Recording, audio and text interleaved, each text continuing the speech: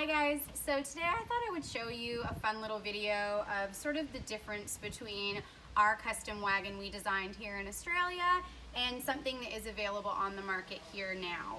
Um, as you can see, this one here is not gonna fit your kids and all of your beach gear, which was a major struggle for me going anywhere with my two.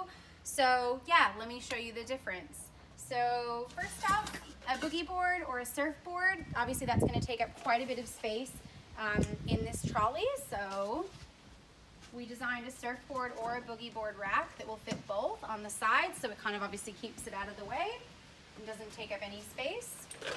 This is just one standard beach chair that we got. And obviously if you need a few of these, that gets a bit, um, takes up a bit of space.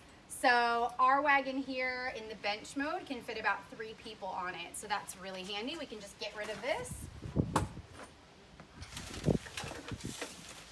beach umbrella. You'll never have to carry this again on your shoulder, in your hands. Um, you can get rid of this because ours comes with a umbrella, which will also pop straight into the sand um, and also can stay when you're in the picnic mode as well. So we'll get rid of this. We don't need that. This is one of my favorite bits is the esky. So you won't need an esky that's gonna take up almost about half of the space of your standard beach wagon. We have developed one in the product. So let me show you. In here I've got some wine. I will put this right in our esky. I don't have any ice packs in there at the moment, but usually I just use the kind that you would use for like school lunch boxes and it really does keep it nice and cool. Even if you're out all day, it keeps it nice and cool like an ice box. So some snacks, crackers, cheese, seaweed crackers, um, little coconut rolls for the girls. So that's pretty standard. So we can definitely get rid of this now. Beach towels, um, you can either roll them up nice and compact and put them in the back boot storage, or if I need extra space, I like to just easily pop them on the girls' chairs. And then that way, if we're riding a bit longer, just like a nice cozy little cushion for them to sit on.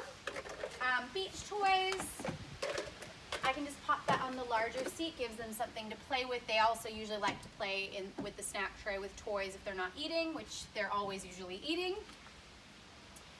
Thongs, obviously you're gonna be wearing these down wherever you're going, but if you get to the beach and you wanna pop them off, you can put them in the boot space.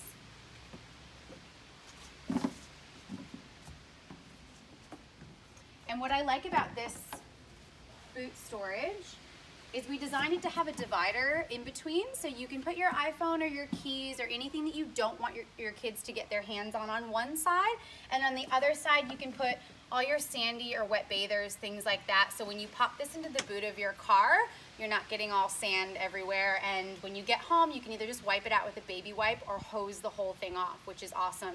Um, obviously, you can't do that with your uh, pram.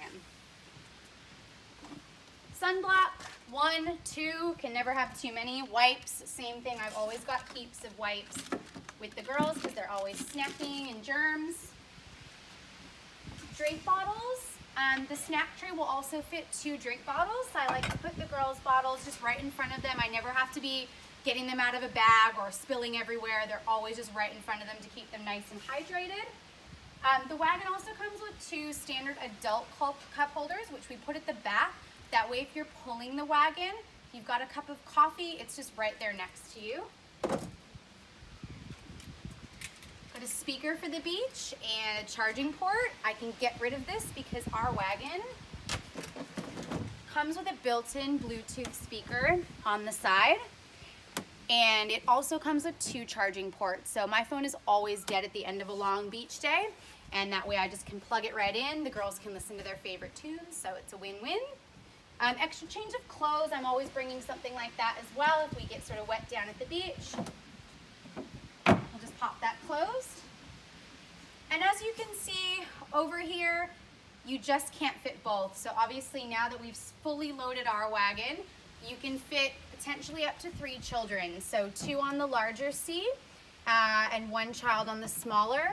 And our wagon will come with three-point safety harnesses on both sides, so that way you don't have to worry about them standing up or popping out when you're on the road. And um, yeah, I hope you enjoyed the video. Thank you so much.